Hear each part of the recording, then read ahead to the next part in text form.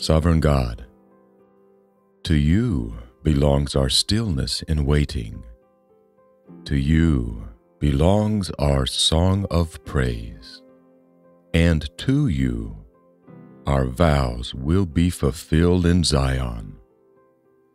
To you, the one listening intently to our prayers. To you, all people will come for the matter of our sinful guilt had overwhelmed us. And now you have forgiven our transgressions.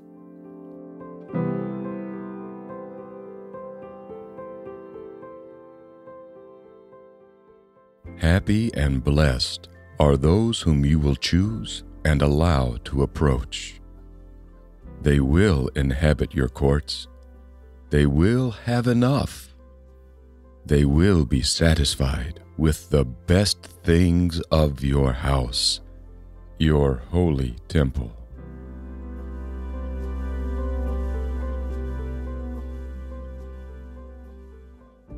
With terrible and awe inspiring deeds, with loyalty, you answer us. God of our deliverance, you are trust. You are hope to the farthest ends of the earth, even unto the remotest of seas.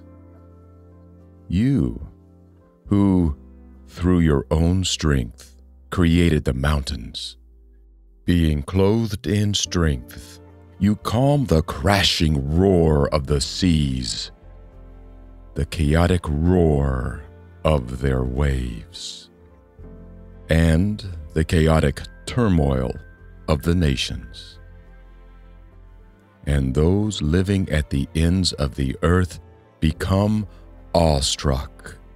They tremble at your miraculous signs. From where the sun rises to where it sets, from east to west, you cause them to shout for joy.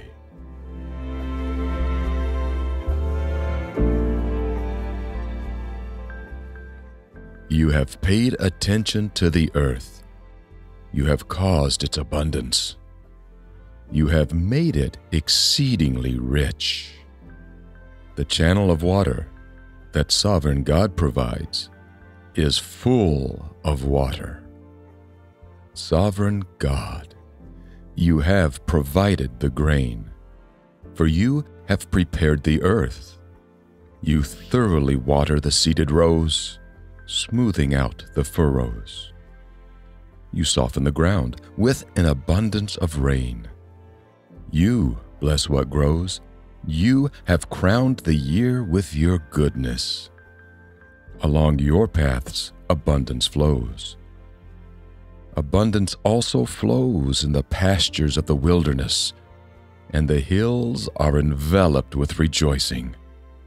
The meadows are clothed with flocks, the valleys are covered with grain. They shout for joy.